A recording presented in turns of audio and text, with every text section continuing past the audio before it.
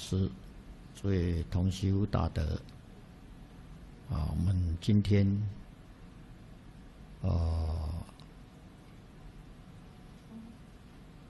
今年己亥年春季啊，我们华藏道德讲堂啊，啊，告一个段落啊。啊，刚才啊，听。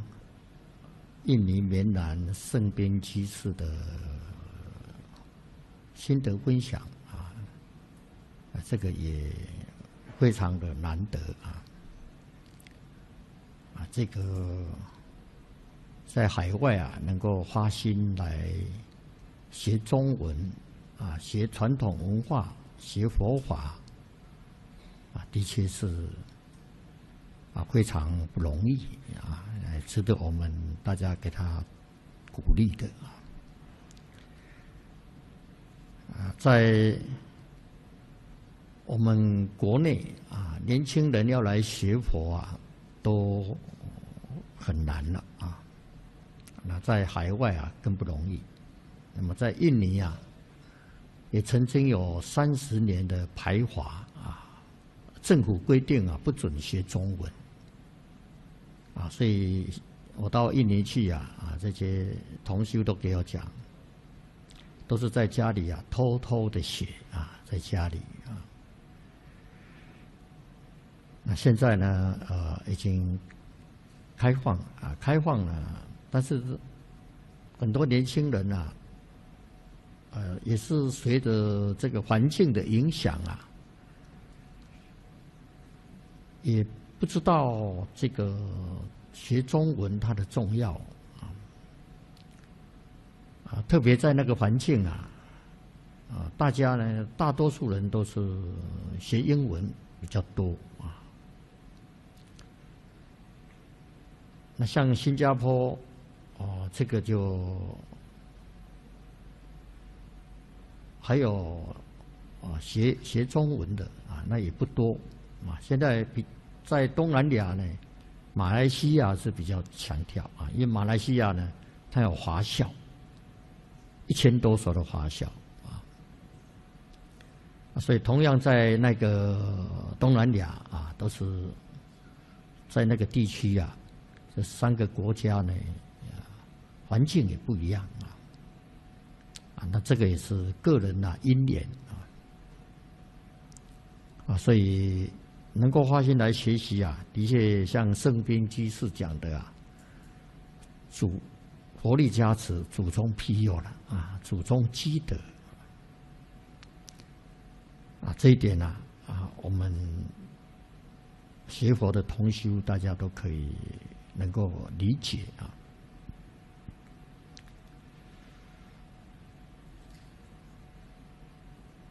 我们现在这个学习呀，啊，也是一个提醒，啊，一个提醒。啊，目前我们这样的一个三天的啊，啊，大家的听课啊，啊，多多少少啊，啊，我们总是有一点印象。那么如果要达到比较良好的效果啊，时间呐，在一个星期是会比较好啊，一个星期。那一个星期，这个像那个谢总办的道德讲堂啊啊，要住在一个地方啊，那这个手机要收起来啊，那这些心无旁骛啊，能专心来听课。啊，这样效果会比较好。啊，这是一个方式。啊，另外一个方式呢，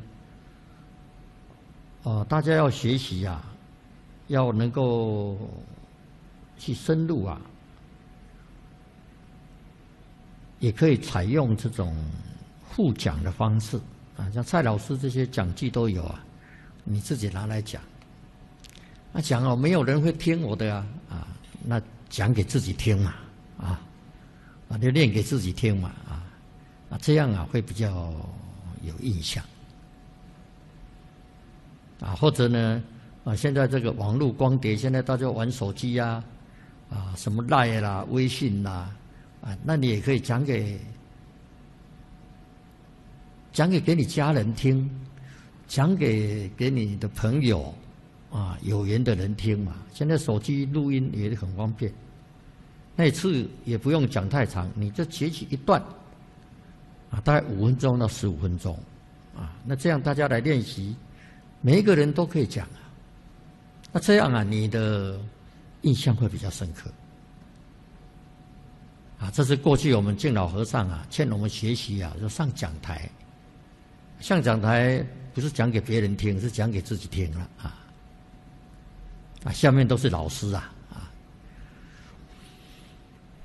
啊，那这个我有体会啊，的确是这样的，讲给自己听啊，自己上来讲啊，印象深刻。啊，在下面听啊，那么跟你自己上台自己讲，讲给自己听啊，那这个这个呃效果上是不一样的啊。啊，那么下面啊，我们都知道嘛啊，我们这个啊，在下面这个。我们打打瞌睡啦，打打妄想啦，啊，想东想西啦，啊，啊，这个这个都会有这种情况啊。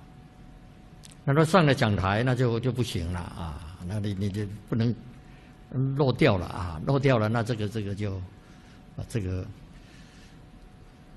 会给人家啊看笑话了啊，啊，那就很专注。那么录音也是一样啊，像我现在我一个人在房间录音啊，那发微信出去啊，那我也很很谨慎呐，怕念错了。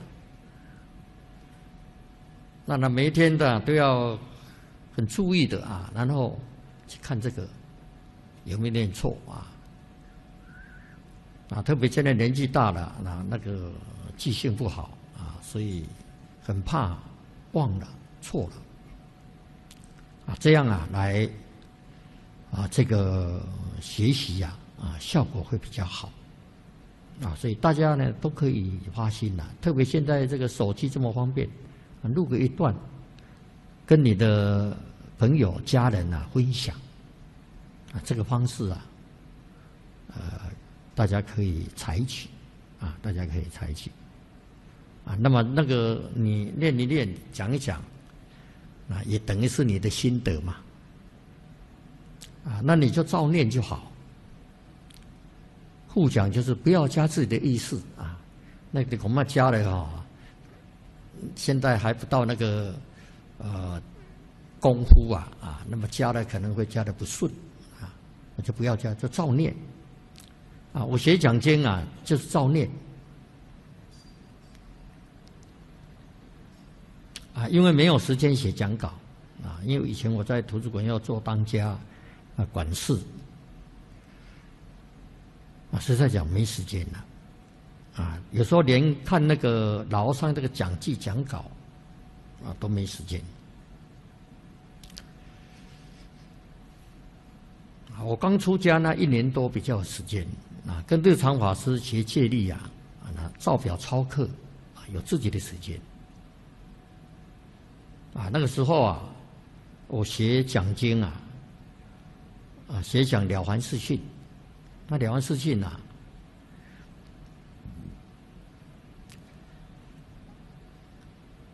自己写讲稿写不出来，啊，写出来了也未必写的很对、很正确，啊，很顺畅，啊，所以在家的时候啊，就常听我们。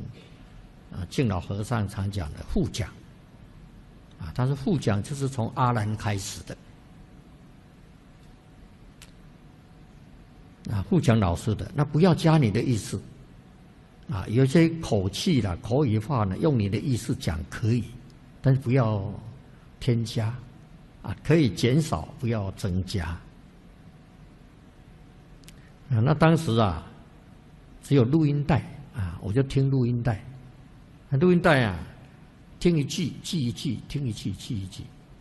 那有时候呢，录音带过去了，那个写没有那么快，要倒回来啊，要重复再听啊，这样写啊，整个抄下来啊，后来请人家抄下来，请人家打字啊，那个在三十三十五年前了啊，三十五年前了啊，那个时候只有录那个时候的录音带啊，这个录音带。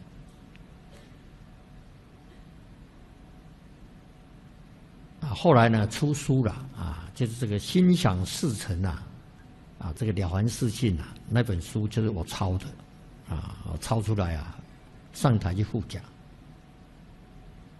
后来呢，慢慢呢，有同修发心打字啦，啊，听打校对啦，啊，出讲记啦，啊，我就请他们这个有打出来这一份给我啊，所以。有些地方请我去讲经啊，讲闽南语的啊，这些等于是一个副讲翻译啊，翻译副讲这样的方式啊，这样啊，上去啊就是念稿了啊，那个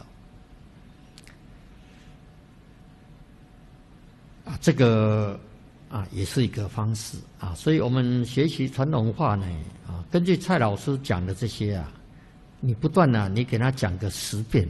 那你肯定不一样的啊！你的体会、你的理解啊，必定啊深入了啊，就照那个念啊。过去在这个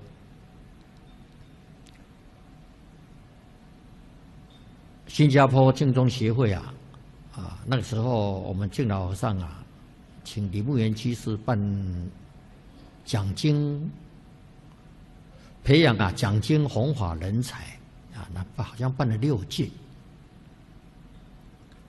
那六届这些学讲经的法师怎么学呢？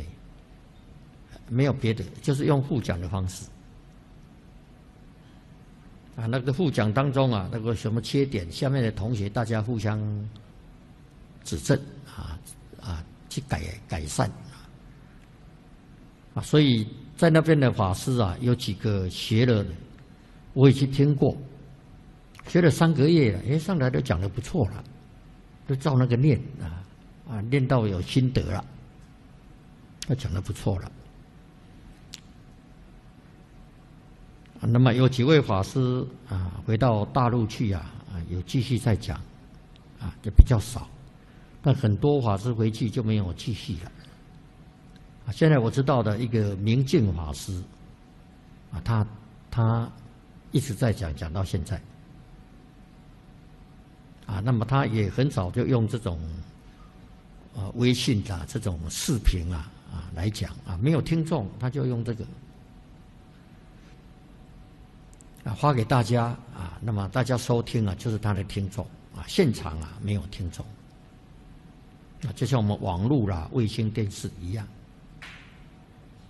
啊，现在啊，人人都可以学，人人都可以练啊，啊，这样的方式啊，我们来学习啊，啊，提升进步会很快，啊，所以那些法师啊，大概三个月上台都讲的都不错了，啊，如果这些法师大家回去啊，都继续学啊，继续讲不断，那现在呢，啊。都有相当一定的成就了，啊，只要他保持这个原则啊，一直不断的讲下去啊，有一定的成就了。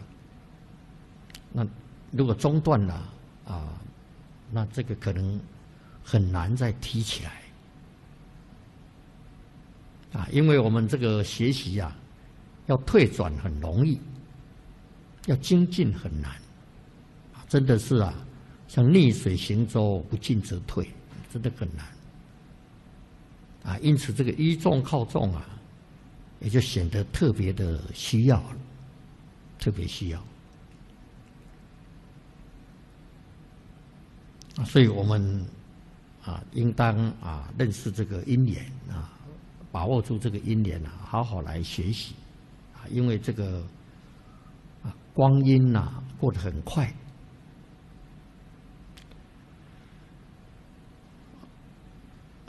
不知不觉啊，啊，那个十几年、二十几年过去了，啊，你看我出家到今年就三十五年了，啊，三十五年过去了，啊，这这也不晓得怎么过的啊。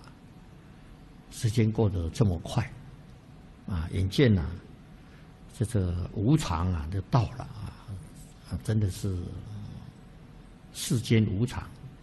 啊，光阴啊，迅速啊，因此我们都要把握住啊，每一寸的光阴啊，大家好好来学习啊，佛法难闻呐，人生难得啊，人生难得，佛法难闻啊，在六道得人生不容易，闻佛法更难。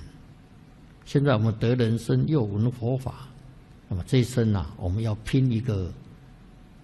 成就啊，我们就是念佛往生西方啊，那就大圆满、大成就啊。所以这个啊，我们下一次我们也可以调整调整这个心得报告的方式啊。每一个人念一段啊，就复讲啊。那可以分组，分组啊，就像我们上次一样啊，啊，分组讨论这样。那么这一个小组，我们这个地方空间很大了，啊，分一个小组分小组，那大家轮流讲啊，来练个五分钟也好，你就是把一一段重点，一个人选一段，重复的也没关系。啊，那么这样讲啊，我们就能够守住这个主题了，啊，啊，才不会离开这个题目，啊，就是就会，啊。啊，这个这个在这个主题上面啊，所以我们下一次啊，就大家都用复讲的方式啊啊复讲的方式。那现在都有这个讲记啦，这些蔡老师讲的这个文字稿嘛，那个网络都有啊，你可以选一段你来练，那那个五分钟、十分钟都好啊，分组啊复讲。啊，那么实际上啊，啊，如果每一天啊第三堂课都分组互讲啊，这样也也很好。啊，那么我们学习啊，就是说有一两段啊，我们很深刻，那那个就对我们会起作用。啊，我想下次啊，啊，我们采用这种互讲的方式来做哦心得报告，可以分组。啊，分组，那么一组啊，大家轮流讲啊，啊，每个人都有机会呀，啊，那这个你互讲熟悉了，你深入了，你才会有心得啊。那么我们还没有深入之前呐，我们这个心得啊，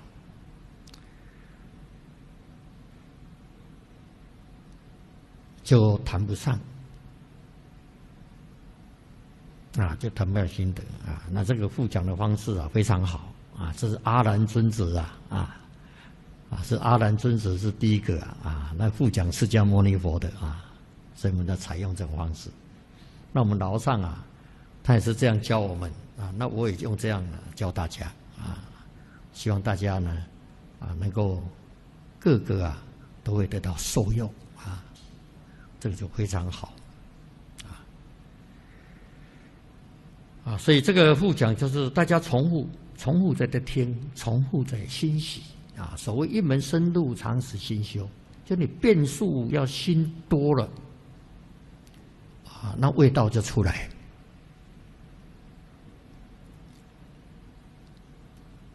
啊。好像这个我们熏那个香啊，香味呢，你熏的时间不够啊，那个还是没味道啊。熏的时间呢要够了。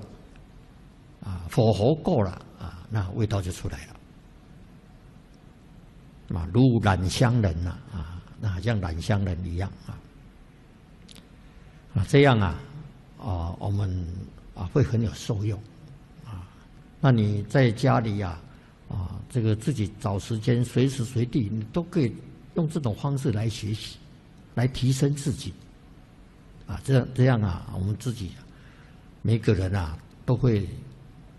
进步了，啊，都会进步。啊，对自己家人讲也很好啊，啊，度度自己家人呐。那你们有儿女的啊，啊，那个讲给儿女听啊，那不是很需要吗？很重要啊。啊，那么你就给我讲个一句两句啊，讲到他懂，再讲换另外一句，啊，这样啊就就会很有心得。啊，如果我们听了听讲了，我们不再去教人，我们自己也不会进步。啊，所以第一个教啊，如果你家里人有儿女有儿孙呐，讲给孙子听啊，教孙子啊也很好啊。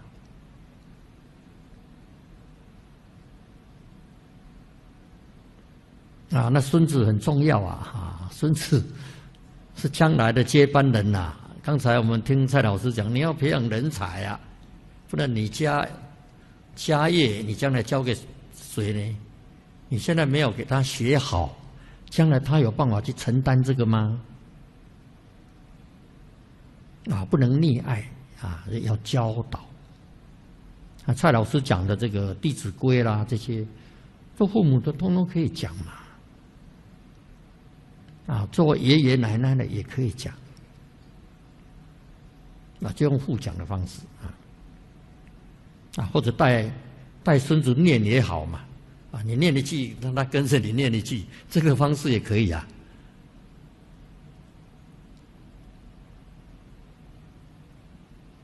啊，那念久了，哦，那可能孙子会比我们会讲哦。啊，那你看那个大清那个马万龙居士啊，他他就是我们啊两岸三地啊一一年来一次，那个小那个小女儿啊，我读感应篇呐，哦，哦他都记记记得啊，啊读那个小儿语呀，哦他也记得啊，而且呢读读他就他就没有人跟他讲解，他就懂意思了啊。啊，所以这种互讲方式啊，啊，这是复制、互讲，啊，这样啊，啊是呃最方便的啊，啊，这个这个呃方法呢，提供给大家啊，那我们学习啊，希望大家都能得到真实的智慧啊，真的得到华喜。那么啊，我们这个。哦，邱董啊，他们提供这个场地啊，也是很难得啊。这个大家坐的时间久啊，啊，可以啊，这边一个绕佛啊，可以走动走动啊，啊，或者可以去拜拜佛也可以啊。因为我们运动就是这两种方式。那这边打太极拳啊，我们我也不会打啊。这个啊，这个这个。我们用绕佛拜佛的方式来运动啊，这个也是可以的啊，稍微活动一下身心啊，不然坐久了真的也是啊会很疲劳啊，所以还是动一动啊。那这样啊，哦，三天的课下来啊，大家也就感觉不累啊啊，就会很有收获了。好，那么今天我们到这里就圆满了啊！我们春季的啊华藏道德讲堂到这里告一个段落啊。那么祝大家福慧增长，法喜充满啊！阿弥陀佛。